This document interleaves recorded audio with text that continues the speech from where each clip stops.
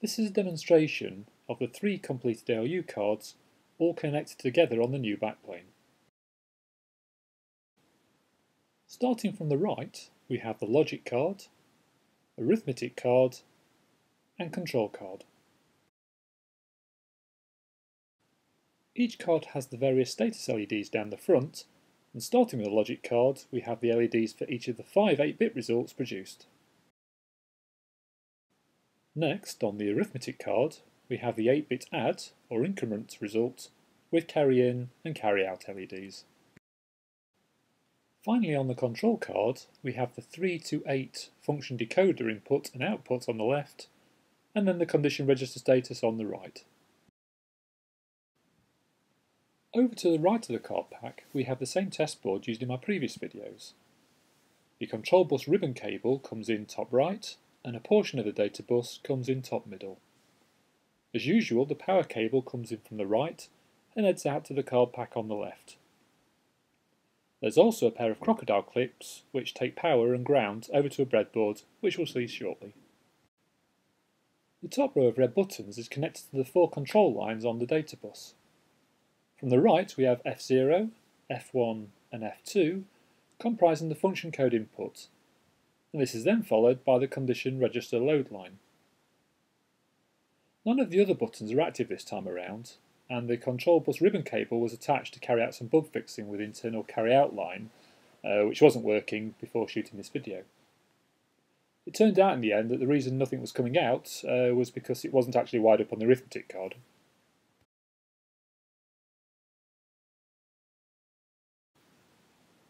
On the breadboard is a pair of dip switches which provide the two 8-bit B and C inputs to the card pack. In a change to previous videos, I've flipped the bit order so the least significant bit is now on the right rather than on the left, and this is to keep things consistent. This also means the right-hand dip switch is obscured slightly by some errant wires, uh, something I unfortunately didn't notice until editing this video. On the right hand side of the breadboard, we've got the usual LEDs to show the data bus value. And yes, I've still not got enough LEDs to go all green or all yellow.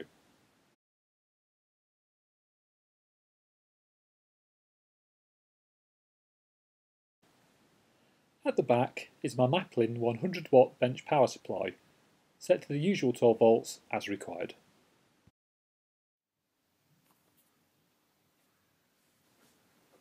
I'll start with switching the power supply on, and currently with all inputs off, the no operation LED is lit, and all 8 bits of the NOT B logic result are lit. I'll now run through toggling each bit of the B input from 0 through to 7, and then repeat through input C.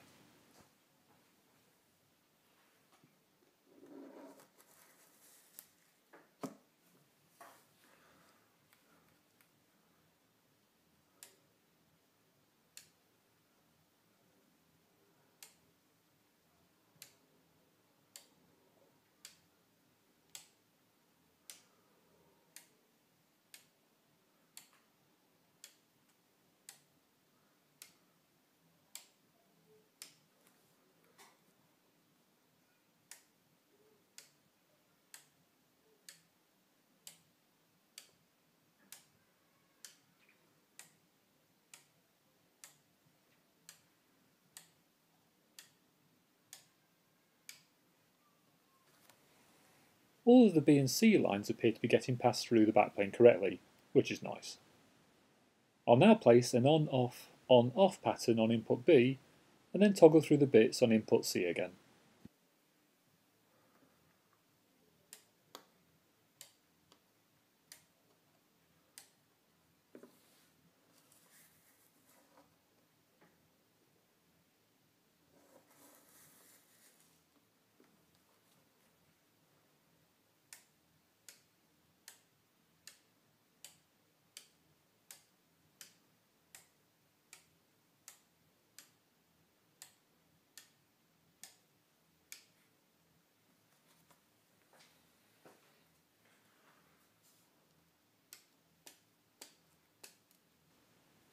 Both the logic and arithmetic cards appear to be behaving as expected. I'll now place the on-off pattern back on input B and place an on-on, off-off pattern on input C.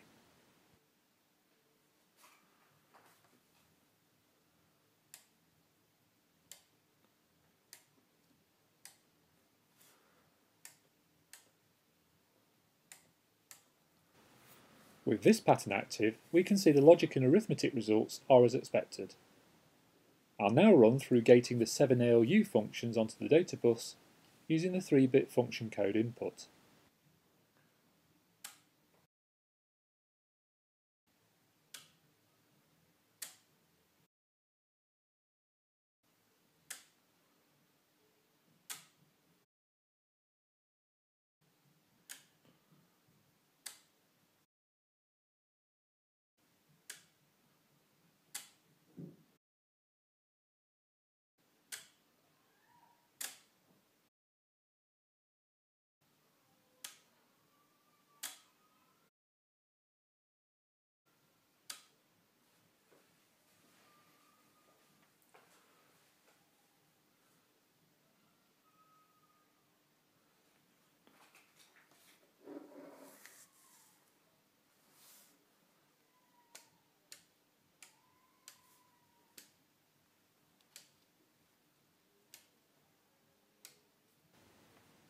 Also looks to be working as expected, so just the condition registers to test next.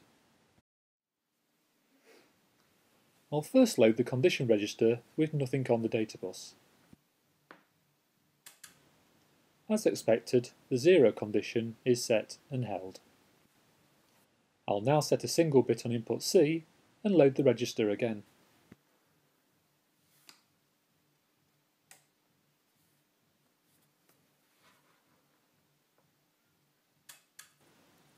No change.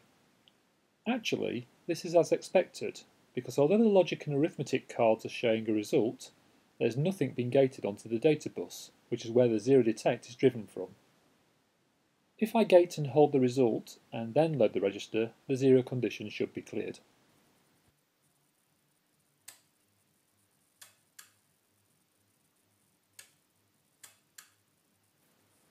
Next, I'll test the sign condition by setting the most significant bit on input C and then loading the register again.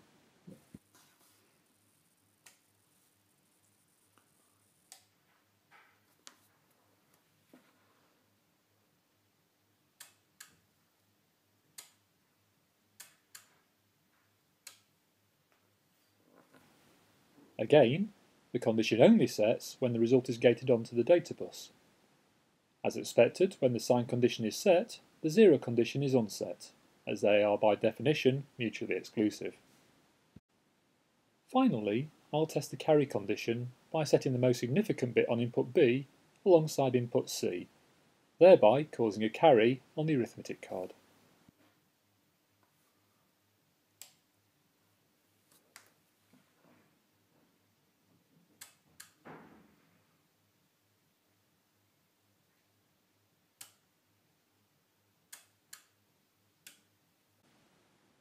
This time, there's a bit of an oddity. The carry bit is set regardless of whether there's anything gated on the result bus or not. This is because the internal carry control line is passed directly into the control card. I'm not totally happy with this inconsistency, as the condition could get set when we're actually dealing with a logic result. This wouldn't normally be a problem when we come to program the computer, as it wouldn't make much sense branching on a carry flag following a logic operation anyway. However, I might as well keep things tidy, so I'll pop in an extra gating relay on the arithmetic card so the carry out line is only active when the add or increment result is being gated. That's pretty much it functionality wise. Just for a bit of variation though, I'll set a slightly more interesting pattern on input B and C.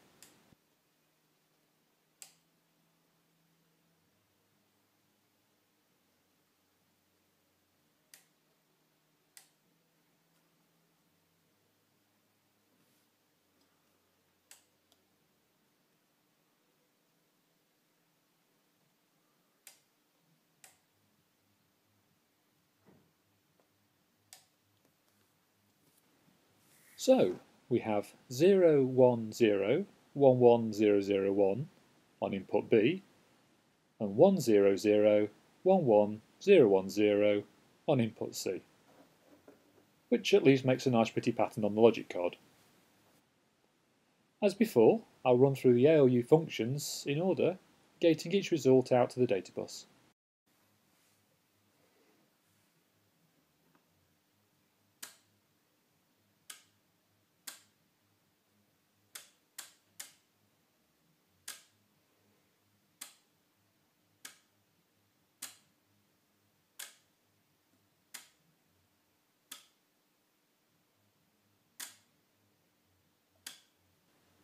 One final curiosity before I wrap up. During the operations I've been performing on the ALU in this video, you may have noticed the ampage raising and falling on the power supply. That's the bottom of the two numbers, the one that isn't 12 volts. I'm quite curious to see how much power the ALU can burn, so I'm now going to set all bits on input B and C and see what the cost is.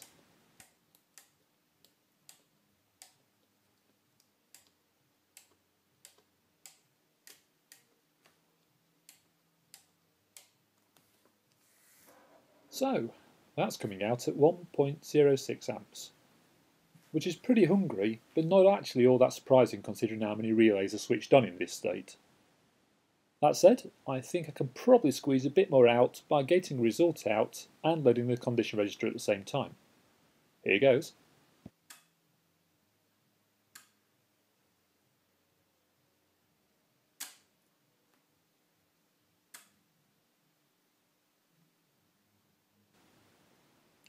One point three seven amps. That's more like it. Hopefully in normal use it shouldn't get anywhere near that, but I'll have to keep this maximum in mind as this power supply will only go up to around 5 amps or 100 watts, whichever comes first. Right, I better turn all those relays back off again.